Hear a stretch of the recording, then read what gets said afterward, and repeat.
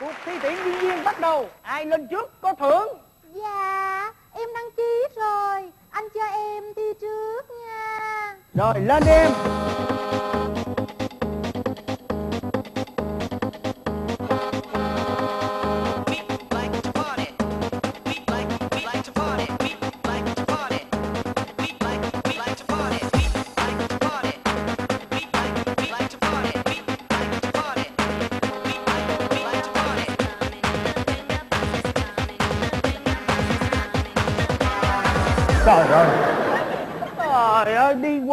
lại là anh thấy được rồi. Tự nhiên?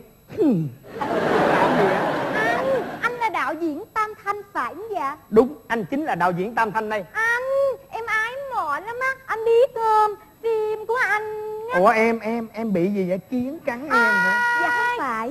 Thôi em vào trong thay đồ giùm anh đi. Dạ. Buôn bán á, thì ta ra nguyên lọt đi.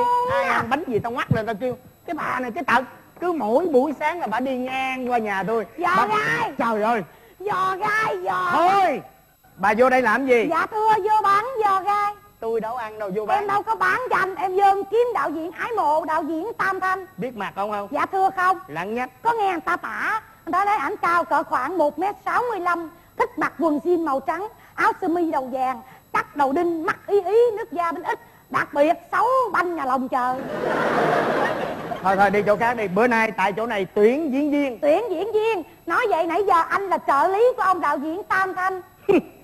Bà đội cha đó thằng bạp Trợ lý mà nó làm. Hết hồn rồi Đá là cái chơi trời ơi thôi thôi thôi bà đi chỗ khác đi. Tôi nói bà nghe là ông đạo diễn không có ở nhà Có nhà mà hàng xóm người ta nói có nhà anh gạt em chi tội em vậy? Cho em gặp đi 10 phút em đi liền. Ra trước cửa ngồi. Thôi ngồi trong nhà chứ ai ngồi trước kỳ lắm. Bà không chịu ngồi trước cửa thì đi về. Không phải sợ ngồi trước cửa lỡ anh nào anh rảnh rảnh Anh vớt đi cái chứa nữa nghe hỏi thăm nè. Dạ. Bà ái mộ đạo diễn tam thanh tới thăm. Dạ. Hay có ai mướn bà tới Mèn ơi anh nói gì là anh không tin tưởng em rồi. Mà những người không tin tưởng em kết quả không được tốt đẹp gì cho mấy đâu nghe.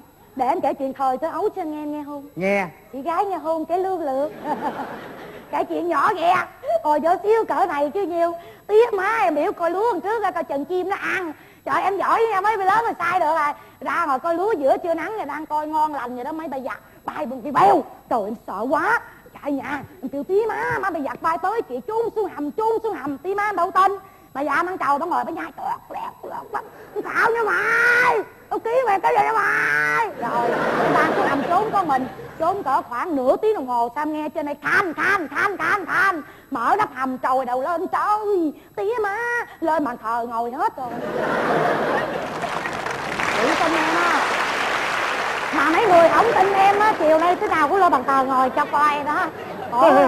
Nói chuyện đã đời sao bà chỉ tôi? Chỉ anh nào tôi kể chuyện hàng xóm nghe chỉ nào không để sợ sợ luôn à. Đi vô trong nhà. Vô làm gì ở đây vui tới bà nội vô chỗ làm gì đây hàng xóm đông đúc quá đứng dậy đứng dậy giùm tôi cái đứng dậy đi vô. Ủa sao anh kỳ vậy? Hồi nãy tôi vô anh đuổi tôi ra mà tôi phải có sĩ diện người bán bánh giò chứ đúng không? Cái gì anh cũng ba ba buông tay ra nha. Bánh giò chứ nó có cái giá của bánh giò nha. Sợ anh nè bứt cửa rồi anh ấy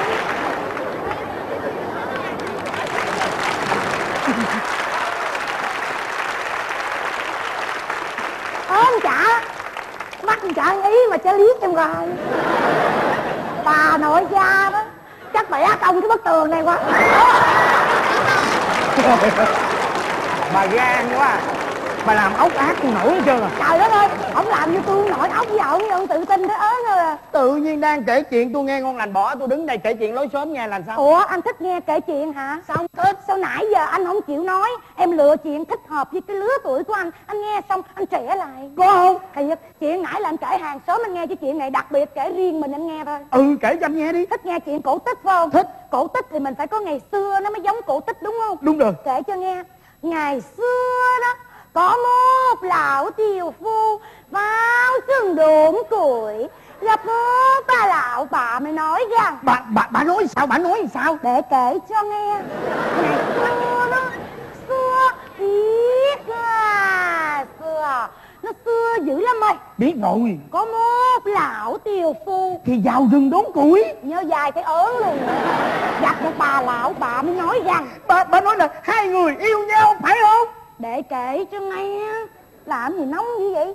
Ngày xưa đó xưa thiết là xưa nó xưa ta đây nó xưa ta đây nó xưa ta Nó xưa dữ lắm mày biết rồi. Có một lão tiều phu thì vào rừng đốn củi trời ơi nhớ dạy sợ luôn à gặp một bà lão bà mới nói rằng. Bà bà nói là hai người yêu nhau phải không? Để kể cho ngay nhá Ừ, nó nói. nó biết là xưa, nó xưa mà nhiều lúc mình ngồi xuống mình suy nghĩ coi, trời ơi, chuyện trò gì mà xưa dữ vậy ta? Để nằm xuống suy nghĩ coi nó còn xưa. Trời ơi, chuyện này nó xưa quá rồi, hết chịu tiết rồi, ngủ luôn mai kể. Trời bà đồng ý vậy bà ngủ đi trời ơi tôi cần nghe là tôi cần nghe cái khúc sau. Khúc ông lão bà lão gặp nhau có thề non hẹn biển nhau bà ở đó cứ ngày xưa hoài. Thì người ta đang định kể cứ sao anh nhào với họng ta sao ta kể? Có khúc sau không? Nghe không? Nghe. Nghe chuyện cô tích mà nóng quá đâu có nghe được. Khúc sao phải không ừ.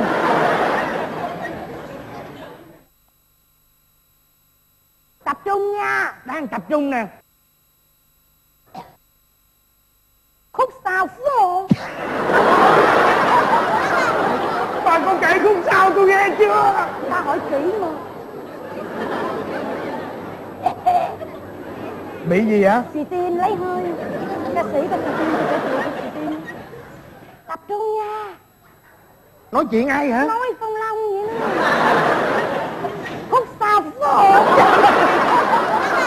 bây giờ bà kể khúc sau chưa? Ngày xưa đó xưa thiết là xưa có một lão tiều phù vào sườn đốn củi gặp một bà lão bà mình nói rằng bà nói sao? Bà nói là tôi sẽ bóp cổ bà chết tại chỗ này. Bà nói sao? Là quá quên rồi. Mười ngày nữa mới nhớ lại. Thôi ra kia ngồi đi bà tám. Em đang kể chuyện mà. Đi ra kia ngồi. Đừng có nói gì bữa nay chỗ này người ta tuyển diễn viên đó nha. Ủa vậy ha vô đi em ơi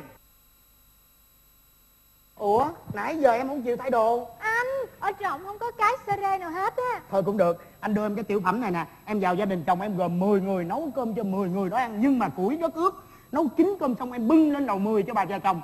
Trễ quá bà giận bà tán bàn tay. Nhớ chưa? Bắt đầu nấu cơm. Dạ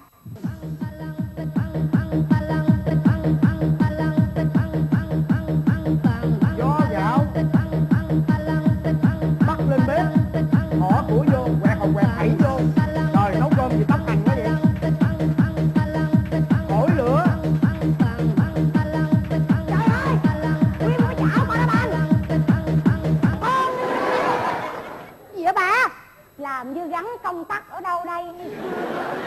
Đánh một cái phần hết nhà coi bà làm gì ạ em có ý kiến. Ý kiến gì? Em thấy con gơ này nấu cơm hồi chắc nổi phải với nó quá. Anh nghĩ sao? Nấu cơm cho 10 người ăn mà bà làm như nấu cho bà ăn á. Bà vớt gạo trong cái lon có chút xíu xong ngồi đó có một húm xong. Bằng bà đăng bằng bà đăng bằng bà đăng bằng bà đăng bằng cơm có ăn bà đặt băng băng bà có biết nấu cơm không? Trời ơi buôn gánh bán cơm không biết nấu cơm chứ biết cái giống gì. Đâu bà nấu tôi coi thử coi. Nấu cơm 10 người ăn cái đóng phim ta nấu cho đàng hoàng coi bộ giỡn chơi sao? Đóng phim mà do gạo 10 người ăn. Đúng rồi em nhìn đi. Cái này mới là do gạo nè. Sàn gạo sải gạo. Bà ta làm rất đúng rồi lại do gạo. Đổ vào son bắt lên bếp.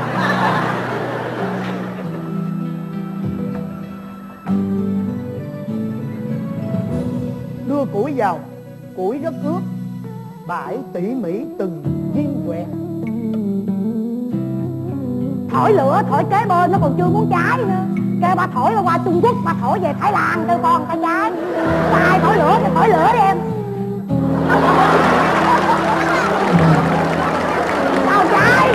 Thổi thổi thổi lửa, tới thổi lửa. Đúng rồi. Bà ta làm rất đúng.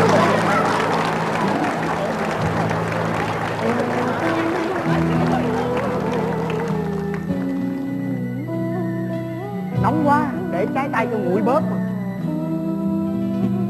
Xới cơm. Thử coi chín chưa. Trời ơi.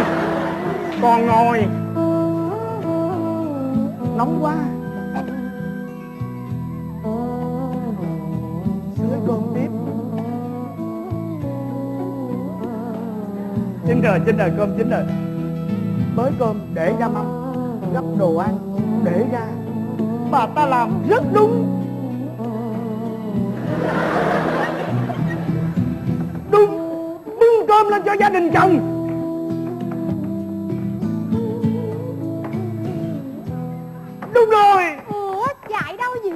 Lên tới lầu môi hơn. Lầu ba lầu trên lầu môi tới rồi. Coi coi coi chừng. Quá mệt mỏi rồi. Gõ cửa phòng bà già chồng. Bà mở cửa ra, tay bàn tay cô ấy té xuống, hai hàng nước mắt cô ấy chảy ra, cô ấy nằm yên bất động. Đúng rồi, nằm yên bất động. Giờ này giờ bán bánh giò à, rồi kêu nằm yên bất động. Hồi đó bánh giò nó kêu hết anh chịu trách nhiệm hả?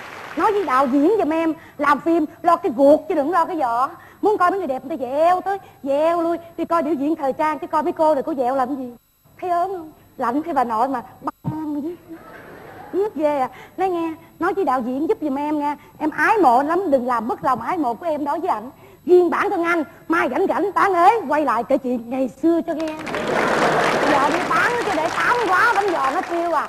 Ai chân giò? Tiết gai hôn nè. Bà bán bánh chưng bánh giò nói rất đúng.